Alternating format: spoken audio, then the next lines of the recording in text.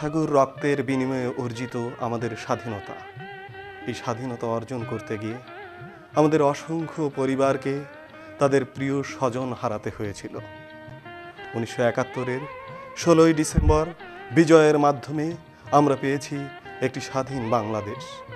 কিন্তু স্বজন হারানো এই শহীদ পরিবারগুলি পেয়েছিল এক একটি সীমাহীন সংগ্রামের জীবন।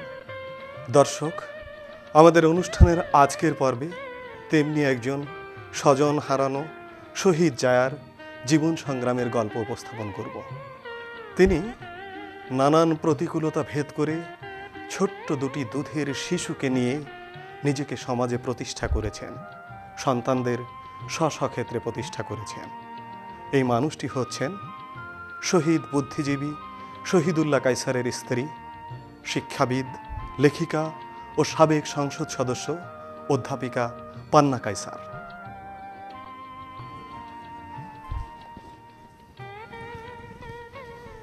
কেমন আছেন? আছে ভালো। আজকে আমরা আপনার জীবন সংগ্রামের গল্প শুনব। একাত্তরে আমাদের জাতির শ্রেষ্ঠ সন্তান শহীদুল্লাহ কাইসারকে হারিয়ে কীভাবে সংগ্রাম করে নিজেকে প্রতিষ্ঠিত করেছেন সেই গল্প।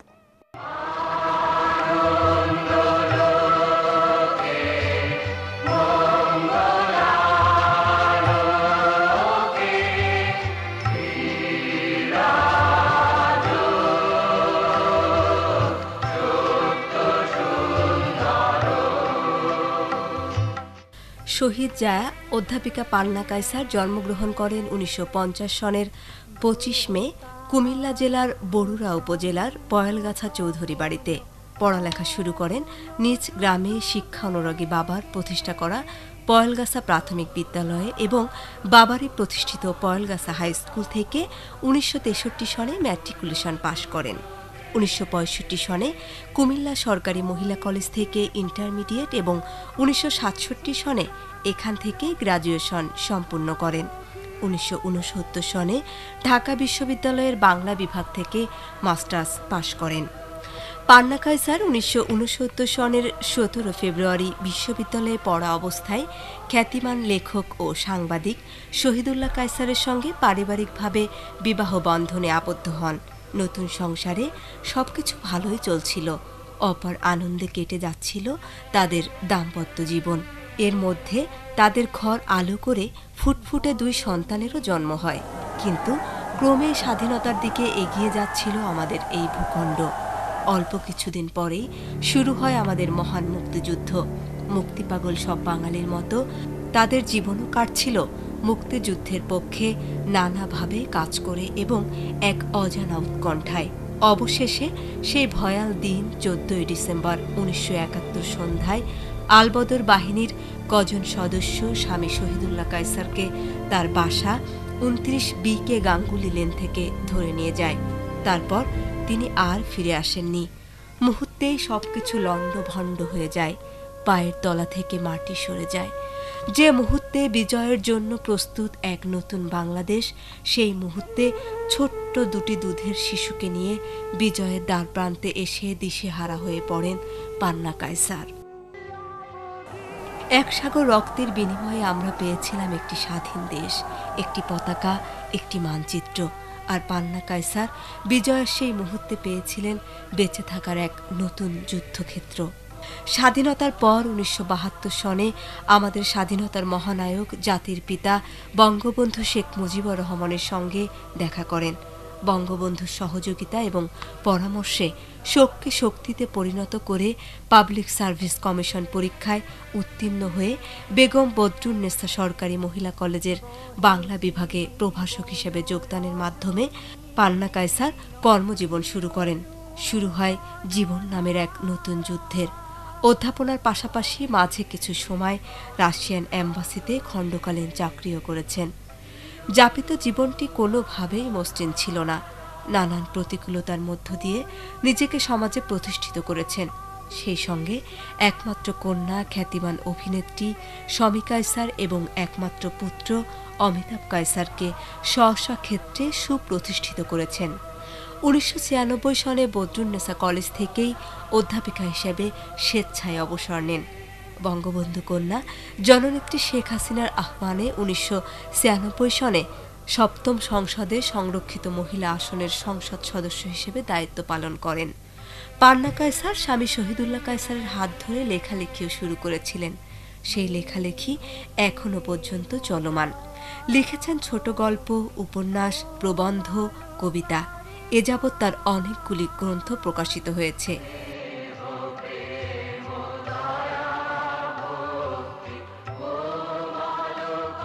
এছাড়াও বিভিন্ন সময়ে পত্রপত্রিকায় কলামও লিখে থাকেন। স্বামীর হাত ধরে যুক্ত হয়েছিলেন কেন্দ্রীয় খেলাঘর আসরের সঙ্গে। বর্তমানে তিনি এই সংগঠনের চেয়ারম্যানের দায়িত্ব পালন করছেন। বাংলাদেশ উদীচী শিল্পী গোষ্ঠী, মহিলা পরিষদ, সমবায় সমিতি আন্দোলন, শহীদ পরিবার কল্যাণ সমিতি, জাতিসংঘ সমিতি সহ নানান সংগঠনের সঙ্গে নিজেকে যুক্ত করেন। নিজ বাসায় অনাথ শিশুদের অক্ষর জ্ঞান দানের জন্য অবৈতনিক স্কুলও চালিয়েছেন। মুক্তিযুদ্ধের বিপক্ষ শক্তির রক্তচক্ষু উপেক্ষা করে স্বাধীনতার পক্ষে নতুন প্রজন্ম করতে তিনি আজও কাজ করে চলেছেন নিরন্তর। সাম্প্রতিক সময়ে তিনি মানবতা বিরোধী বিচারে অত্যন্ত সাহসিকতার সঙ্গে একজন অন্যতম সাক্ষী হিসেবে সাক্ষ্য দেন। মুক্তিযুদ্ধ যে এদেশের লক্ষ লক্ষ মানুষের ত্যাগের ফসল, তারই একটি প্রকৃষ্ট উদাহরণ একজন পান্না কায়সারের জীবন। যতদিন বাংলাদেশ থাকবে, মুক্তিযুদ্ধের চেতনা থাকবে, ততদিন তার কর্মের মাঝে, ত্যাগের মাঝে জল জলে তারকা হয়ে থাকবেন শহীদ জায়া অধ্যাপিকা পান্না কায়সার।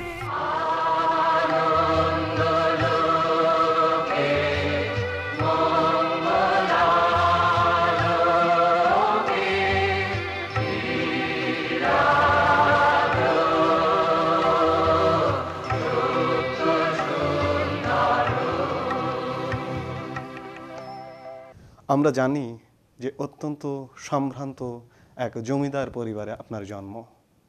শৈশবের দিনগুলি কেমন ছিল? আমার জীবনের প্রথম বিষয় যেটা, আমি আমার বাবার আদর্শে বড় হয়েছি। অবচেতন মনে। আমি চেতন মনে নয়, অবচেতন মনে। আমার বাবা আমাদেরকে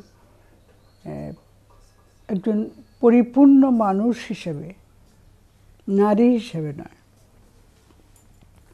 একজন মানুষ হিসেবে গড়ে তোলার চেষ্টা করেছেন। আমি অসম্ভব একটা দুরন্ত একটা মেয়ে ছিলাম। তত্তর করে গাছে উঠে যেতাম, এমনকি সুপারি গাছে উঠে যেতাম।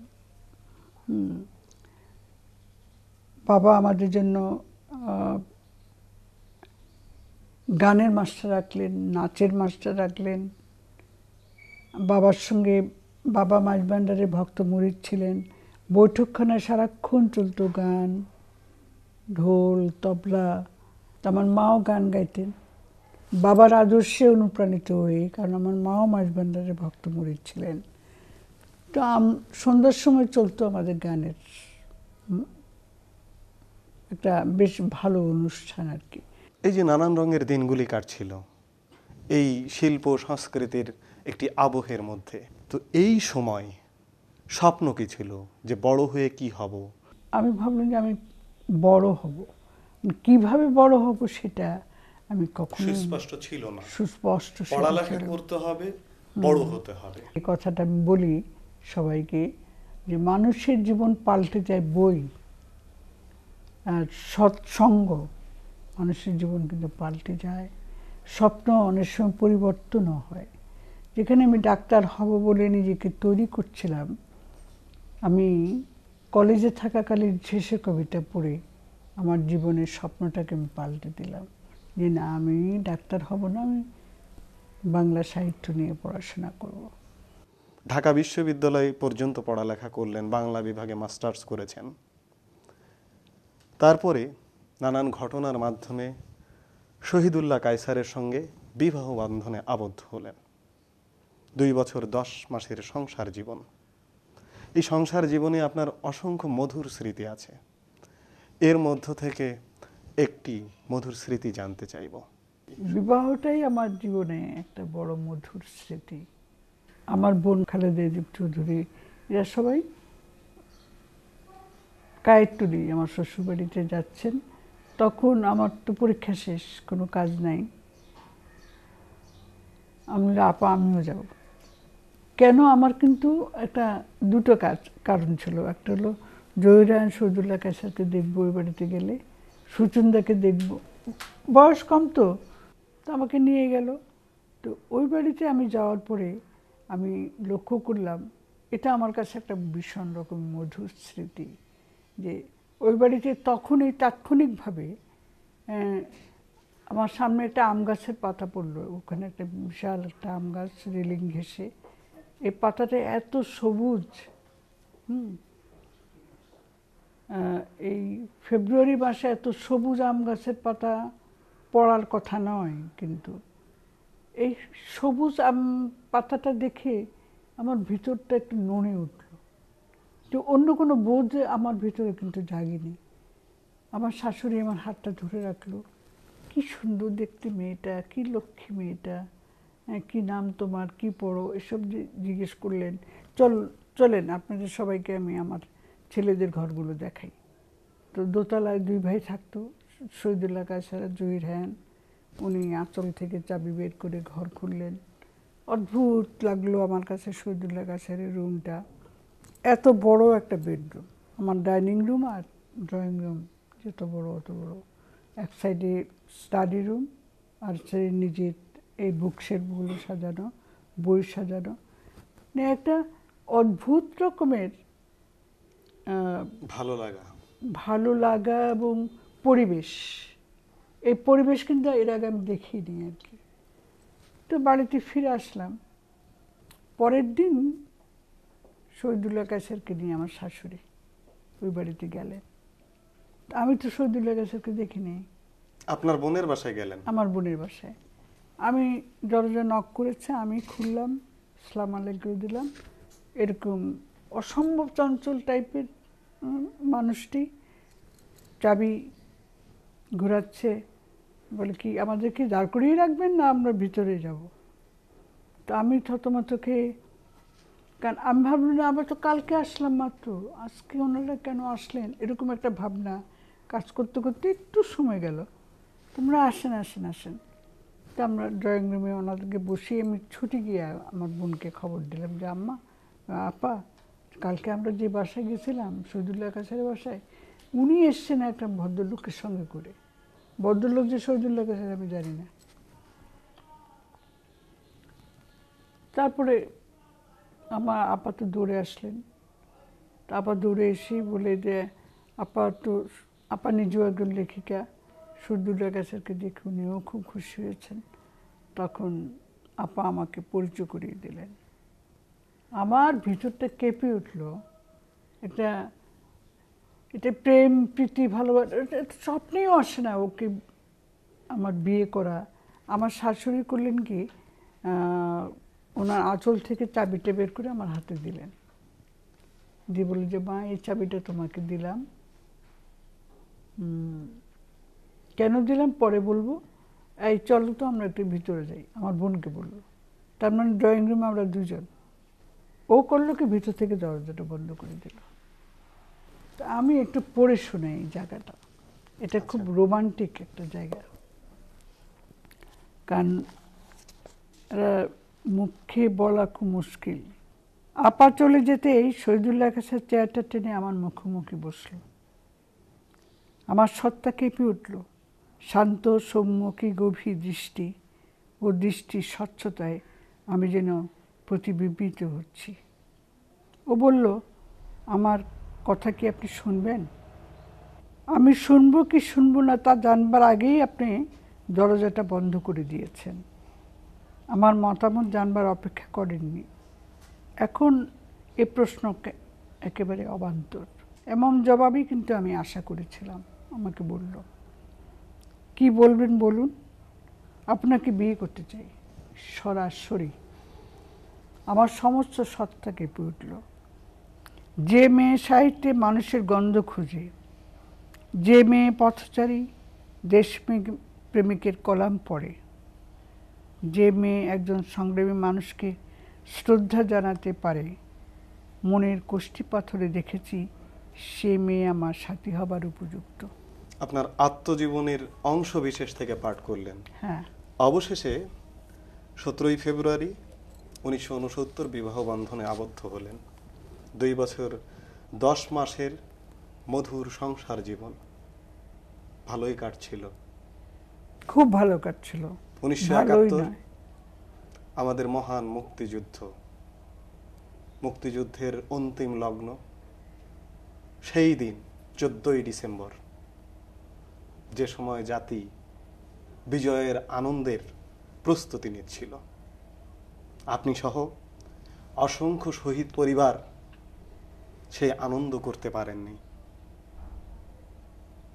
আমরা পেয়েছি একটি দেশ, আপনারা পেয়েছিলেন একটি সংগ্রামের জীবন। প্রিয় স্বজন, স্বামীকে হারিয়ে সেই শুরুর দিনগুলি কেমন ছিল? আমার জীবনে এমন কোনো ঘটনা ঘটবে এটা আমি কখনো ভাবি নাই আমার জীবনে দুটো কারফিউ এসছে। একটা আমার মেহেদি রঙে ওর ঘরে আসা। আর একটা কারফিউ হলো ওকে ধরে নিয়ে যাওয়া। টানা হেঁচড়া করে আমার হাত থেকে টান দিয়ে নিয়ে যাওয়া। এই বেদনা, স্মৃতি এ কষ্টের স্মৃতি আমি জীবনে কখনো ভুলব না। আমি ওকে হারিয়ে ওকে কোথায় নিয়ে গেল? ওকে মারতে নিয়ে গেল? এই, এরকম আবল তাবল বকতে বকতেই কীভাবে চোদ্দ তারিখ রাত্রি গেল, পনেরো তারিখ গেল, আমি কিচ্ছু জানি না। আর সবাই আমাকে সান্ত্বনা দিচ্ছে যে শহীদুল্লাহ কাসারকে ইন্টারোগেশনের জন্য নিয়ে যাওয়া হয়েছে। হতে পারে এত বড় রাজনীতিবিদ ওকে হয়তো ইন্টারোগেশনের জন্য নিয়ে যাওয়া হয়েছে। কিন্তু আমার কোনোটাই বিশ্বাস হচ্ছে না। ষোলো তারিখ সকালবেলা আমার দেবর জাকারিয়া বলে যে, ভাবি চলেন বর্দাকে খুঁজে আনি। আমার মনটা তখন একটু আশ্বস্ত হলো। হয়তো ওকে ইন্টারোগেশনের জন্য না হয়েছে, ও জানে, ঠিক আছে, আমি যাই। আমি ওর সঙ্গে গেলাম। ও সোজা ও রিক্সাটা নিয়ে রায়ের বাজারের কাছে চলে আসলো। রায়ের বাজারের তীরের কাছে আসতেই অসম্ভব রকমের দুর্গন্ধ, আমি তাড়াতাড়ি নাকে কাপড় দিলাম। আমার শ্রদ্ধা, এখানে এরকম দুর্গন্ধ কেন? তারপর আর একটু এগোতে দেখি প্রচুর মানুষ কান্নাকাটি করছে। মাটিতে লুটিয়ে পড়ছে একজন আরেকজনকে ধরে কাটছে আপনজনকে খুঁজতে আসছে সেটা তো আমি জানি না। আমাকে শ্রদ্ধা আমার হাত ধরে এক- আসলে ওরা চেয়েছিল আমাকে আমার জীবনের বাস্তবতার সঙ্গে মুখোমুখি করতে। মুখোমুখি করে দেওয়ার জন্য। আমি তীরে দাঁড়ালাম তীরে দাঁড়াতেই আমি একটু থমকে গেলাম। অসংখ্য বিকৃত লাশ হ্যাঁ কারও নাড়ি বুড়ি বেরিয়ে আছে, কারও গলার অর্ধেক বেরিয়ে আছে, কারও গলা নাই, মেয়েদের মেয়েদের শরীরের কোনো কাপড় চোপড় নাই, সমস্ত নাড়ি বুড়ি বের করা, বিভৎস, এটা বর্ণনা করার মতো নয় কিন্তু। আমি মুহূর্তেই চ্যানেলটা খুলে নিচে নামলাম। ছোটদার পেছন থেকে ডাকছে, ভাবি, নামবেন না। মানে আমাকে নামতে হবে, ওকে খুঁজে বের করতে হবে আমার। মানে কঠিন হয়ে গেলাম আর কি আমি। দুই ধমক দিলাম ওকে। তারপরে আমি দশ বারোটা লাশ, এরকম পচা গলা লাশ আমি কিন্তু উল্টে পাল্টে দেখেছি। একদিনে যা হয়, কাদা মাটিতে একটা লাশের যা হয় হ্যাঁ বিবর্ণ হয়ে যায় একেবারে, কিন্তু আমি সে লাশ পাই নাই।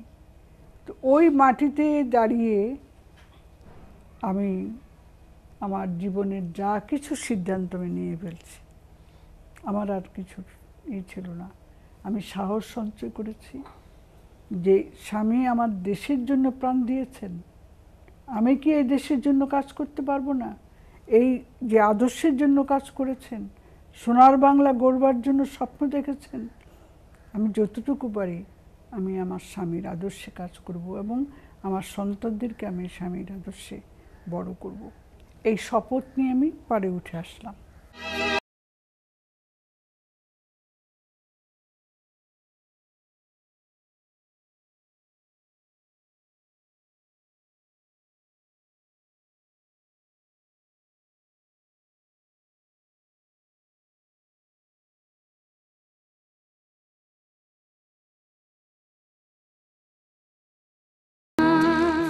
শোককে শক্তিতে পরিণত করে জীবন সংগ্রামে এগিয়ে যাবার চেষ্টা করলেন।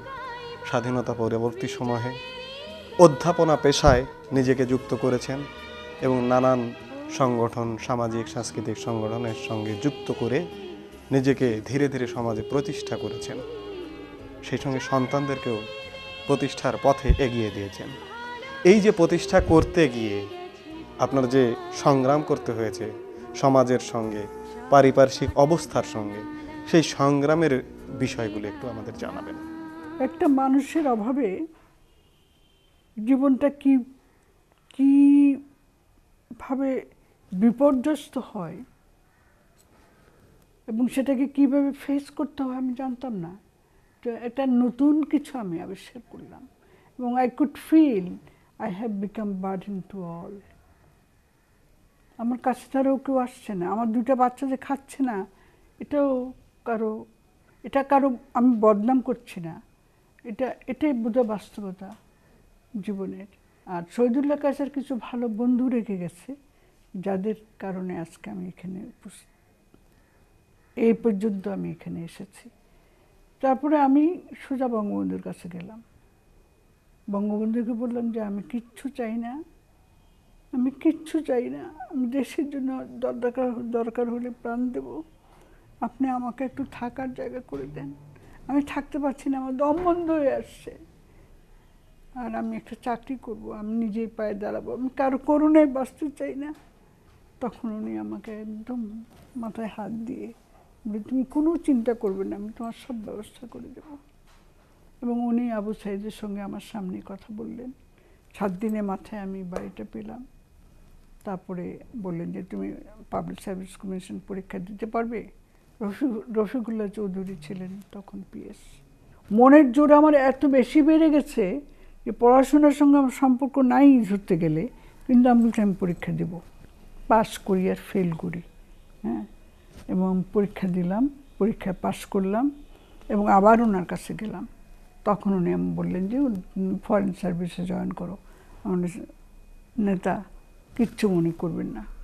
আমি অনুরোধ করে বলি, আমি ফরেন সার্ভিসে জয়েন করব না। উনি একটু বিস্মিত হয়ে গেলেন যে, এটার মতন একটা লোভনীয় চাকরি পোস্ট তুমি না করছ কেন? তা আমি বললাম যে, আমি আমার ছেলে মেয়েকে মুক্তিযুদ্ধের চেতনায় বড় করব। ওই যে উনি আমাকে মাথায় দিয়ে আশীর্বাদ করলেন, আমার মনে হয় ওই আশীর্বাদেই আমি কিন্তু পথ চলার সাহস পেয়েছি। তুমি এত দূর চিন্তা করতে পেরেছ? তখন আমি বললাম যে নেতা আমি যে যার সঙ্গে ঘর করেছি যে আমাকে জীবনে আলো দেখিয়েছে জীবনে সমস্ত আলোর দুয়ারগুলো খুলে দিয়েছে আমি সেখান থেকেই শিখেছি তারপরে যাই হোক আমি এই বাড়িতে আসলাম। আমি বদ্রনাথ সরকারি মহাবিদ্যালয়ে আমি প্রভাষক হিসেবে প্রভাষক হিসেবে জয়েন করলাম চাকরি শুরু করলাম। কিন্তু সবার মধ্যে এক ধরনের বিরূপ প্রতিক্রিয়া যে আমি এত তাড়াতাড়ি বাড়ি এবং চাকরি পেয়ে গেলাম। আমি অনেক অসহযোগিতা পেয়েছি। আমার খুব কষ্ট হয়।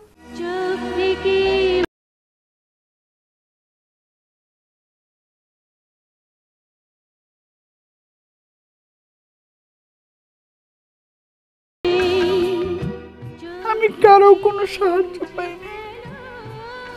আমার আত্মীয় স্বজনদের সবার সবাই আমাকে হিংসা করা শুরু করল যার স্বামী নাই, টাকা নাই, পয়সা নাই, শুধু চাকরির উপর চলে। সে এভাবে কাজ করে যাচ্ছে দুর্দণ্ড প্রতাপে। এটা একটা হিংসার বিষয় হয়ে গেল। কিন্তু আমার এই কাজ আমাকে পুরস্কৃত করেছে আমি বলব। মার জীবনের পুরোটা অংশ জুড়েই আমার বাবা আমার বাবার রেখে যাওয়া আদর্শ, আমার বাবার রেখে যাওয়া কাজকর্ম, আমার বাবার রেখে যাওয়া যে সম্পর্কগুলো, সম্পর্ক বলতে বন্ধু, সংগঠন সব কিছুকেই আঁকড়ে ধরেছেন। মার পুরো জীবন জুড়ে হচ্ছে তার সংস্কৃতি, তার দেশ, তার দেশপ্রেম এবং সব কিছুই আমার বাবার থেকে এসেছে। এখন যেখানে এসে দাঁড়িয়ে আছি, এখন আমি একটা পরিণত বয়সে আমি একজন মেয়ে। আমি আমার বাবা মার সন্তান। আমি যখন এখন মূল্যায়ন করি, এখন বিষয়গুলো আমার কাছে অনেক বেশি গভীর মনে হয়। যে তেইশ বছর বয়সে যখন একটা মেয়ে তার স্বামীকে হারায় এবং তেইশ বছর বয়স থেকে তার যেই জীবন যুদ্ধ, অর্থনৈতিক যুদ্ধ, সামাজিক যুদ্ধ, পারিবারিক যুদ্ধ এবং মানসিক যুদ্ধ, তার স্বপ্নগুলো আমাদের ভেতর থেকে প্রতিফলিত করার চেষ্টা করেছে। এবং আমার জীবনে চলার পথে এখন আমার মা আমার জীবনের সবচেয়ে বড় অনুপ্রেরণা এবং সবচেয়ে বড় শক্তি, আমি আল্লাহর কাছে আমার মার সুস্বাস্থ্য এবং দীর্ঘায়ু জন্য কামনা করি এবং আমি কামনা করি মা যতদিন বেঁচে থাকেন, সুস্থভাবে যেন বেঁচে থাকেন। এবং আরেকটি কথা আমি সবসময় আল্লাহর কাছে চাই যে আমি বলি যে, আল্লাহ, তুমি তো আমার মাকে অনেক কিছু দাওনি। একটা মেয়ে যা যা স্বপ্ন, যা যা তার আকাঙ্ক্ষা থাকে জীবনের কাছে, তার তো অনেক কিছু তুমি তাকে দাওনি। কিন্তু যা, যে, যেই স্বপ্ন নিয়ে মা বেঁচে আছে এবং যেই স্বপ্নগুলো মার ভেতরের এখনও হয়তো পূরণ হয়নি, আমি যাইনি না, সেটা হয়তো আমার ভেতর দিয়ে হতে পারে অথবা আমার ভাইয়ের ভিতর দিয়ে হতে পারে, আমার ছোট ভাই অমিতাভ কায়সারের ভিতর দিয়ে হতে পারে। আমার মার ওই স্বপ্নগুলো তুমি পূরণ করো। মুক্তিযুদ্ধের বছরকে বলা হতো গণ্ডগোলের বছর। ফলাও করে প্রচার করা হতো একজন সামরিক বাহিনীর মেজর র্যাঙ্কের কর্মকর্তার ঘোষণায় দেশ স্বাধীন হয়েছে। এরকম নানান বিকৃত ইতিহাসের মধ্য দিয়ে আমরা একটি বৃহৎ প্রজন্ম বেড়ে উঠেছি। সেই বিচারে আজকের তরুণ প্রজন্ম সৌভাগ্যবান। মুক্তিযুদ্ধের আদর্শ নিয়ে বড় হচ্ছে, মুক্তিযুদ্ধের ইতিহাস জেনে বড় হবার একটি রাস্তা তৈরি হয়েছে। এই প্রেক্ষাপটে, এই জায়গায় এসে আপনি আমাদের তরুণ প্রজন্মকে কি পরামর্শ দেবেন? আমার পরামর্শ, আমি স্বপ্ন দেখি ওদেরকে নিয়ে যে প্রজন্মের পক্ষে যত মানুষ আছে, নারী, পুরুষ, স্কুল, কলেজের ছাত্র, ছাত্রী, বিশ্ববিদ্যালয়ে, সবাই একাত্তরের মতন আবার সরোয়ার দুদিন আমরা একত্রিত হয়ে অনুপ্রেরক শক্তি দিয়ে প্রজন্মকে আমি জাগাবার জন্য আমার নতুন করে পথ চলা শুরু হলো। আজকে আমরা বিজয়ের পঁয়তাল্লিশ বছর উদযাপন করছি। এই পর্যায়ে এসে এই জায়গায় এসে আমাদের দেশ নিয়ে আপনার স্বপ্নের জায়গাটা কি? প্রত্যাশার জায়গাটা কি? যে আলবদ রাজাকার আমার স্বামীকে টেনে হেসছে আমার বাসা আমার সামনে থেকে আমার হাত থেকে টেনে নিয়ে চলে গেল। সেদিন থেকে আমি অপেক্ষা করছি যে এদের কি বিচার হবে না? চুয়াল্লিশ বছর অপেক্ষা করেছি। আজকে বিজয় আমি দেখি নাই। বিজয় কাকে বলে আমি জানি না। আমি যখন রাস্তায় বেরিয়েছি ষোলোই ডিসেম্বর উনিশশো একাত্তর সনে, বিজয়টা আমি অনুভব করতে পারিনি। আজকে এবারে বিজয় দিবস আমি অনুভব করেছি যে বাংলাদেশের যুদ্ধ অপরাধীদের বিচার হয়েছে। সোনায় মোড়ানো সোনার বাংলাদেশের পথে আমরা এগিয়ে যাচ্ছি, এগিয়ে যাব। এতক্ষণ আপনার সঙ্গে সুন্দর একটি সময় কাটালাম। এখন আমরা বিদায় নেব আপনার একটি পছন্দের গান শুনতে শুনতে। আমরা কোন গানটি শুনব? আপনার প্রশ্নের সঙ্গে সঙ্গে একটা গানের কথা মনে পড়ছে, যে আমি দাম দিয়ে কিনেছি বাংলা। এটা আমার শুনতে খুব ভালো লাগে, এটা আমি প্রায় শুনি রাতে। আমি রাত জেগে যখন লিখি, তখন এই গানটাও বাজাই। দাম দিয়ে কিনেছি বাংলা। কারোর দানে পাওয়ানো আমি দাম দিছি প্রাণ লক্ষ কোটি। জানায় আছে